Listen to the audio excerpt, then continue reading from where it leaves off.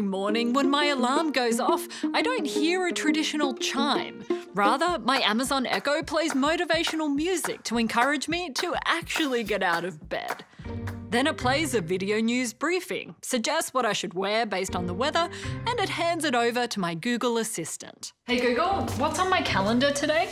Today, there's only one entry on your calendar meeting with Bahar. I venture out of my neighbourhood guided by Google Maps. I follow its recommendation about where I should stop for coffee, and I use its suggestions for how I should respond to email.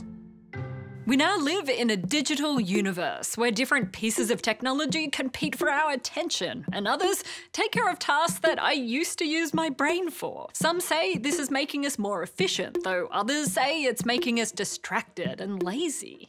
The reality is, algorithms now make endless daily decisions for me based on how I and others have acted before. So, what does it mean to be human if a bunch of algorithms guide me throughout my day? And if companies are owning my decisions, do they then own my brain?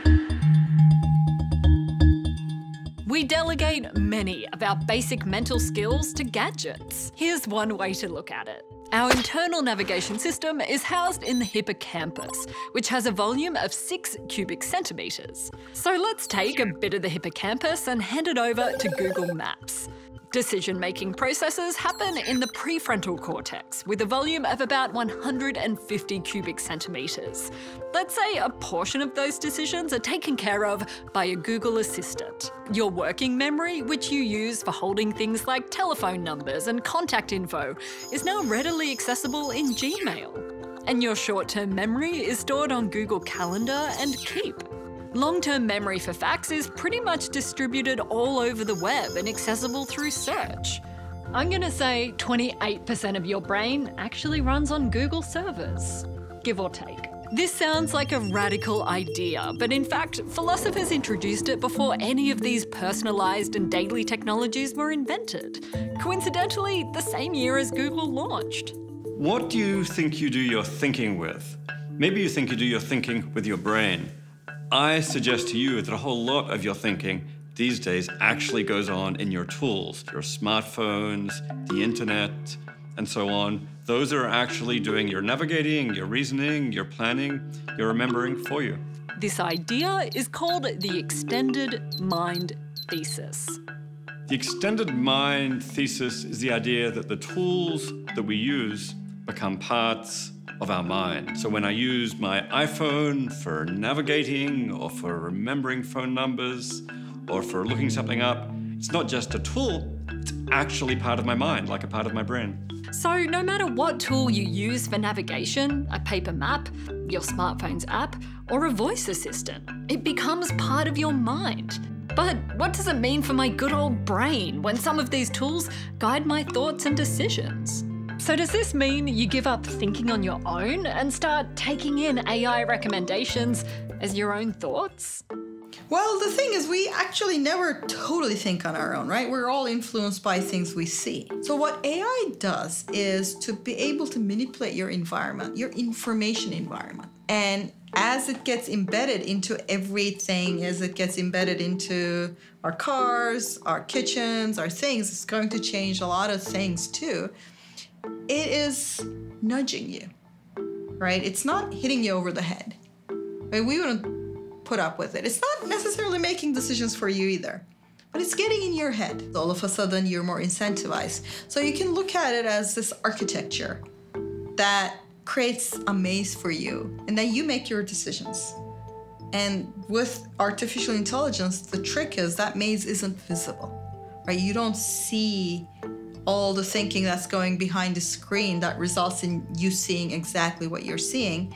And as these technologies become integrated into the everyday devices, you're not going to see exactly what they're doing either, but they'll be there. The way they're employed right now is a couple of corporations that have a very different agenda than what I want to do with my life, right? So that's the problem. They're thinking about me on behalf of someone else. So, if these algorithms continue to suggest these subtle changes to our behaviour, does this change our psychology? And is this new technology changing our brain? I'm sure you've heard this question before. It's always been raised during any technological revolution. When it comes to this question, people broadly fall into two camps. One says, yes, tech changes us. We take on what we do and consume. It's kind of like the intellectual version of you are what you eat. The other camp says this is just panic. The effects of what we do in one domain are limited to that domain. That is, if you give short bits of attention to Twitter, that doesn't diminish your basic attention span elsewhere. But even if tech doesn't change the building blocks of how our brains process and compute, it can push the brain into various modes of operation. After being in those modes for too long, it might be difficult to break out. You might even forget how to. So, the more you reinforce the habit of watching Netflix and YouTube, the harder it becomes to drop that and read a book. One of these problematic habits of thinking has been called distraction sickness. Many have observed how we've become unable to read anything longer than three paragraphs. One survey showed the percentage of American adults who read literature fell to at least a three decade low in 2015. A possible explanation, researchers said, is that there are more platforms competing for our attention than ever before. Not being able to sink into a novel points to a broader problem our inability to sustain attention on a task and this could cost us our intelligence. In fact, as pioneering psychologist William James once said, the strongest factor in setting geniuses apart from other people is the act of paying attention. What's more, many brilliant and creative ideas are born only when we're disengaged from the external world, something that technology has made it nearly impossible to do. One of the really interesting challenges we've faced over the last 10 years is that we have devices in our hands and in our lives that demand constant attention and that promise rewards for that. One of the problems with that is that we've stopped having time to be bored. You might ask, who wants to be bored?